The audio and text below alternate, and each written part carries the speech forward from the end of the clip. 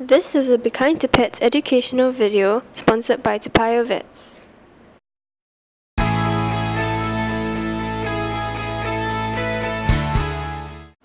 These hamsters are two male Roborovski hamsters aged 2 years and 3 months.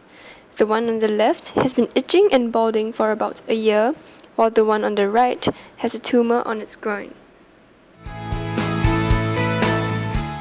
The sibling, the sibling is here and uh, he has been having hair loss for one year. The other vet has given some anti-mite drops in July, which is uh, four months ago, five months ago. So now we see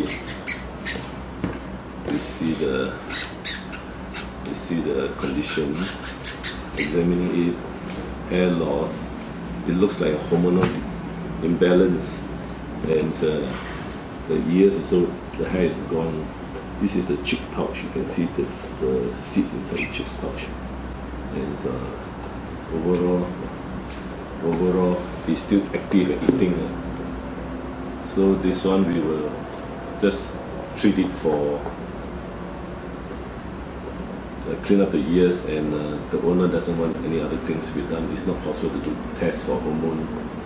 So this is similar to the case of uh, bilateral endocrine alopecia in cats or dogs, normally due to hormonal imbalance.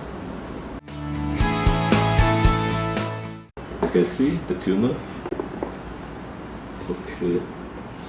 So the tumor is is there on this uh, right side under the flank. So the only treatment is uh, surgery to remove it. The owner has been informed of the anesthetic risk and uh, he's uh, prepared for it. This Roborovski is still eating, so he's quite uh, quite uh, healthy in the sense he's eating and, and active. So this lump, it could be an abscess or a tumor. Only by surgery do we know. So it will be done today and uh, Roborovskis are very fast, so we cannot put them out. Uh, that's the thing with Roborovski. This clip shows the surgical removal of the tumor on the hamster's groin.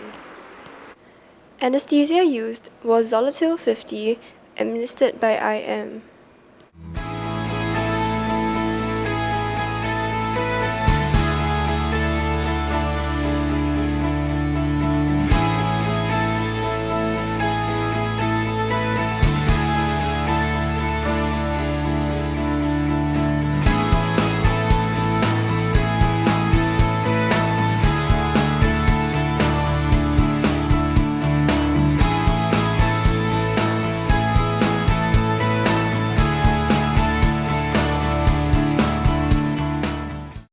4-0 absorbable sutures were used to close the wound.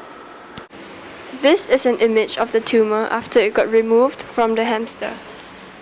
It is important to show the owner the clean surgical wounds as well as how to administer medication. Also, advise the owner to treat the hamster early should it get tumors again. Early removal is much less risky for the hamster. With this, the hamsters can be discharged to recover at home. Thank you for watching.